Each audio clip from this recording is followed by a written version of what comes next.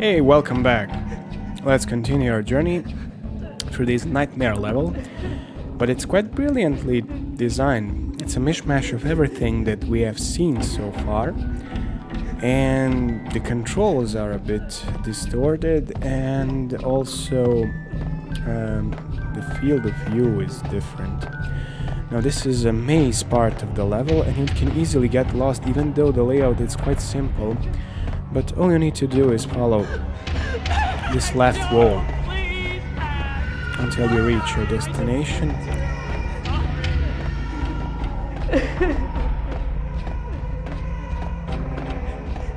Just as in any maze, you just need to follow or the hug one wall.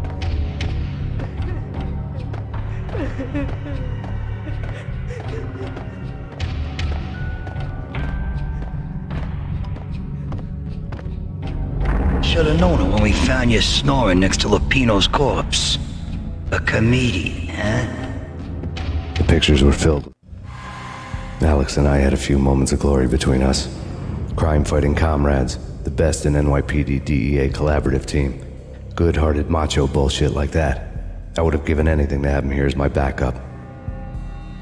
No such luck. No luck at all. Good old times. Michelle looked at me from the photo. The Payne family. Happiness captured in a Polaroid moment. I had thought it would last forever, till death do us part. I didn't want to think about it. As long as I didn't, it could never happen. But I had broken my own rule. The thought had already slipped in. Fear was rusty needles poking at my brain. Cold and scaly, it slithered down my chest.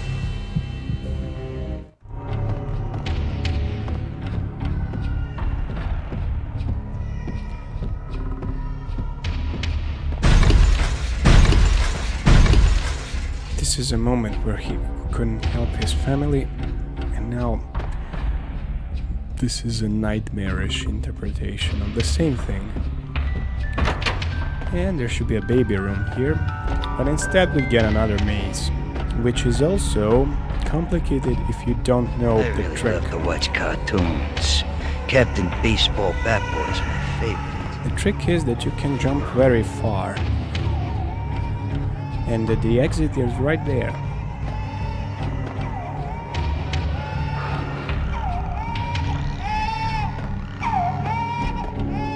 See?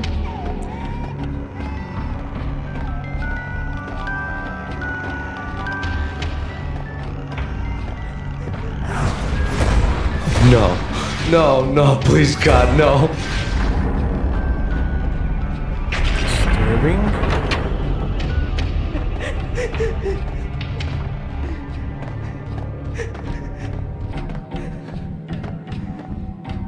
can slice them, dice them, shoot them full of holes, blow them to bits, vaporize them, disintegrate them. No matter what you do, they'll still be back good as new. Michelle's diary lay on the table. Now, this is an important clue to the story. Michelle was working part time in the district attorney's office. Her diary was open on today's entry, her handwriting all pretty curves. An army dossier found its way to my desk yesterday. Valhalla? Isn't that a Norse myth? Something about Vikings? I tried to tell Max about it, but he was busy, that cute frown on his brow. Guess it's nothing, just a mix up at the courier service. From now on, I would always find time for her. It was a hollow promise. Too little, too late. Um, I think this is the end of the level. Max, no, please, Max. Why? I didn't mean to. I'm sorry.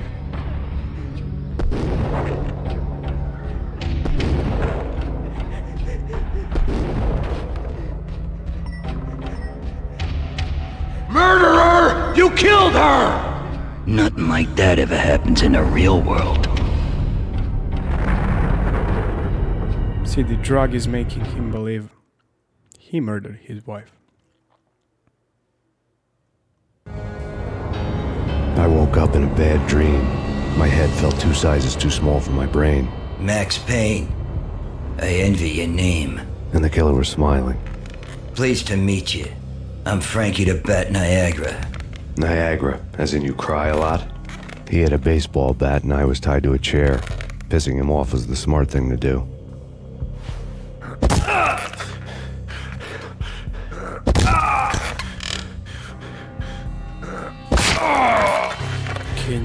Even survive that?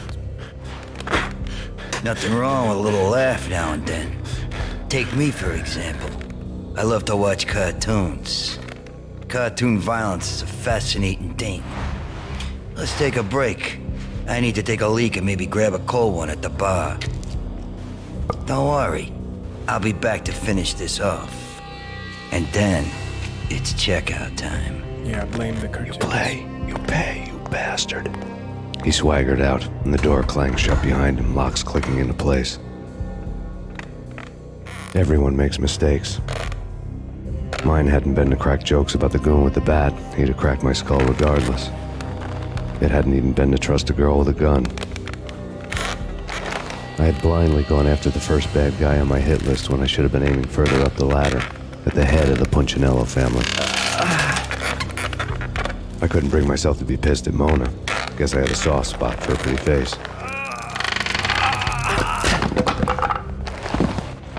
But when somebody decides to play baseball with your head, you tend to get sore.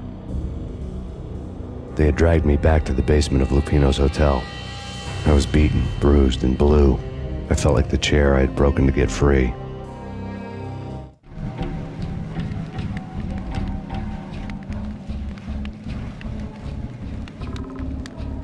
Had was Niagara's bat, sticky with my own blood.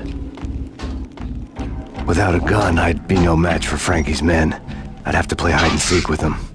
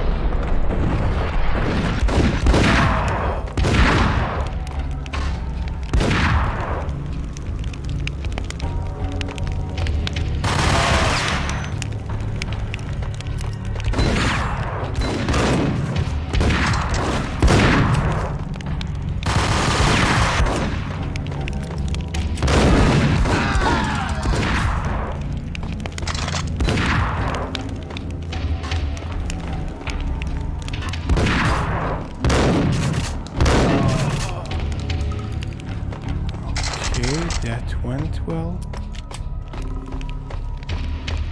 Could have ended a lot worse.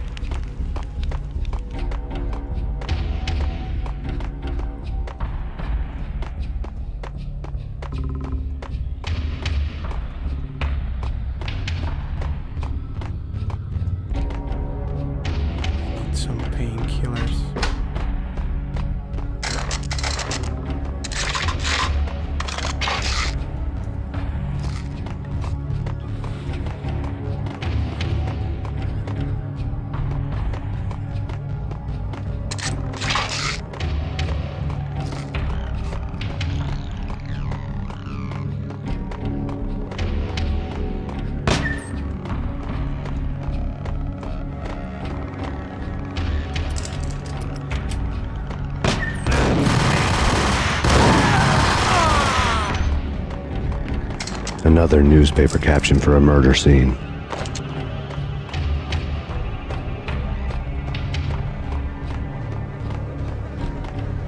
Yeah. Frankie had left his calling card, a Captain Baseball Bat Boy strip, next to a sewer passage filled with bodies. You'd better not mess with Captain Baseball Bat Boy. Even my arch enemy, Bicycle Helmet Girl, swoons at the sight of me. Aha! There were enough corpses to put a mass murderer to shame.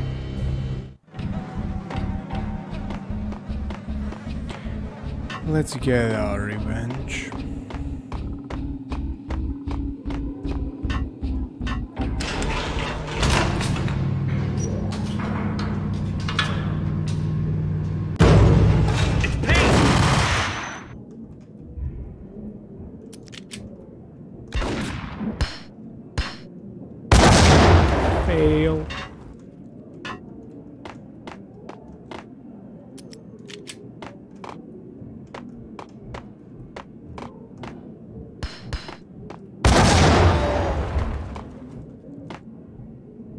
This has to be the one playthrough when they killed each other the most time, in my experience.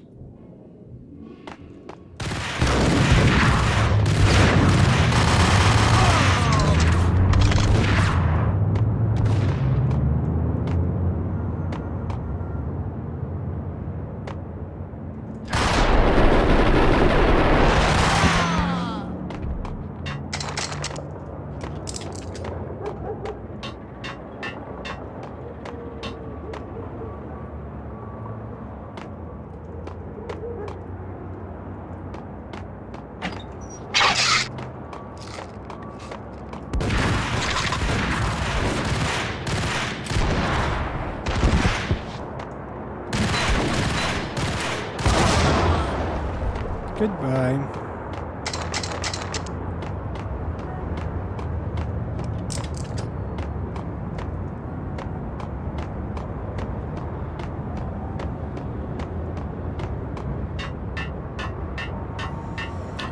All right. Let's finish this.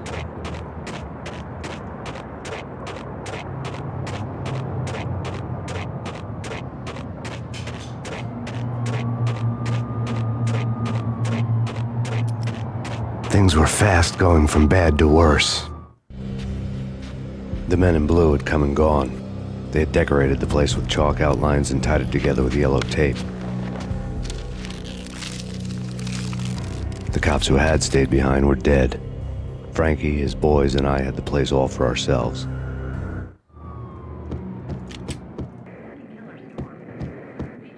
Just forget about it. just forget about it.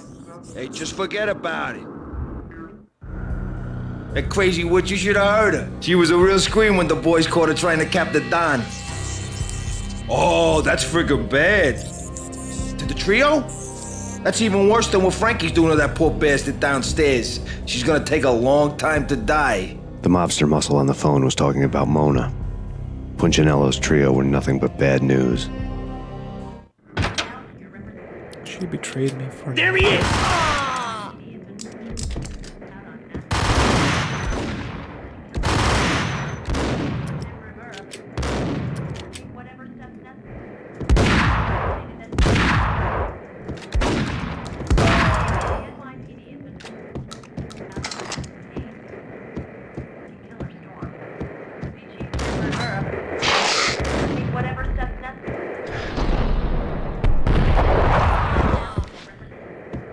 She betrayed me for nothing.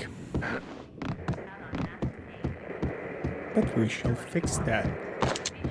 More evidence that Punchinello didn't like me much. The fact remains that all the victims so far identified in the Ragna Rock shooting have been known criminals, many of whom had large doses of V in their blood. Reliable sources say that Max Payne was also among those killed, although no body has been recovered at this time. Reliable sources. That meant somebody thought the Mafia had me, didn't want the cops snooping around anymore. The body would be delivered to them barely recognizable. Case closed. Don Punchinello had the power to be that reliable source, which was no news. But his news was old news. Framing me hadn't been enough. Don Punchinello had put a hit on me. He wanted me dead, and it had been important enough for him to give written instructions to Frankie about it. Max Payne should die like a dog for the trouble he's caused. Frankie, I know I can trust you to give this matter the dedication it needs.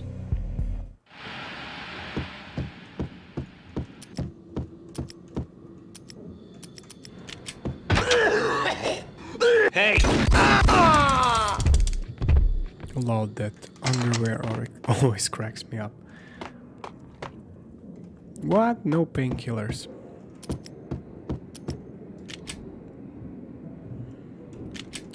There's a boss fight. The hotel bar was fast developing quite a history. True to his words, Frankie was there, having a beer. Jesus Christ. How the hell did you get loose? Got bored waiting. Thought, what the hell, we could just as well finish this here.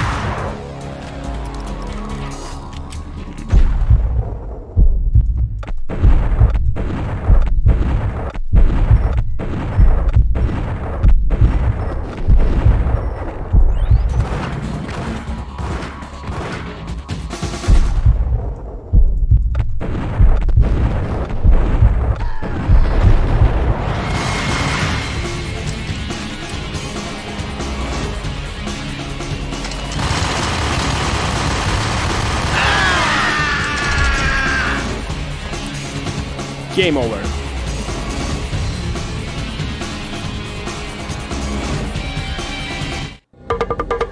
Thank you, thank you. You've been a lovely audience. Had enough? I don't play with girls anyway. Unfair! I spotted the tail as soon as I left the hotel. A big black Mercedes. I'd seen the car before. That time it had heralded impressive explosions. Vladimir was back. Bang. You're dead, Max Payne. I might have laughed if I remembered how. What's this supposed to be? Cops and robbers? Look, you want something with me? Get in line. Peace, man. Relax. You know you are a real news item. Armed and dangerous. I am going to make you an offer you can't refuse. I've always wanted to say that. It's a bum rap. I've been framed. Well, that's a moot point. Whatever you did or did not do, I'm sure you had good reason for doing it. Want to hear me out? I'm listening. Punchinello messing with V is bad for business all around. But that's not all. There is this guy, Boris Dime, used to pull jobs for me. He's the captain of the cargo ship Charon. Now the bastard turncoat has gone over to the other side, Punchinello's. The ship's loaded with high-res hardware, guns, my business. If Punchinello gets hold of that cargo, he's won and I have lost. And you'll have your work cut out for you. If you want to get to Punchinello, you'll need heavy-duty persuaders. I am just the man to get them for you. Change the ship back under my flag, maybe pop two in the traitor Dime's head while you're at it. You'll get enough guns to start the apocalypse. You in or out? Let's get this show on the road. Vladimir was one of those old-time bad guys with honor and morals, which made him almost one of the good guys. None of us was a saint. The Brooklyn riverfront was a maze of rusty containers, sharp-boned cranes looming up from the snowstorm. On a night like this, you couldn't help but think of the dark army of dead men sleeping with the fishes, cement shoes in line. No Minotaur lurked in this labyrinth, but somewhere out there, on the clanking deck of his cargo freighter, the skipper of the Charon was waiting, like the ferryman of the River Styx. Alright, this entire part is one crazy outdoor chase. And it's not too long, not too short. We're gonna resume it uh, in the next episode. If you like this one, hit that like button. Stay tuned, subscribe, and I'll see you in the next episode.